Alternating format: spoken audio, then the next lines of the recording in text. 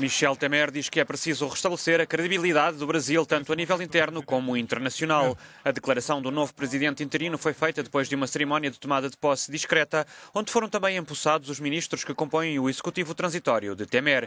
O chefe de Estado que assume o cargo depois da suspensão de Dilma Rousseff, na sequência da abertura do processo de destituição, pediu aos brasileiros que confiem na recuperação da economia nacional, nos potenciais do país e nas instituições sociais e políticas.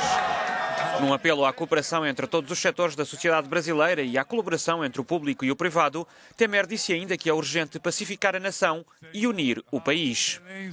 Pinto, ministro de Estado da Defesa.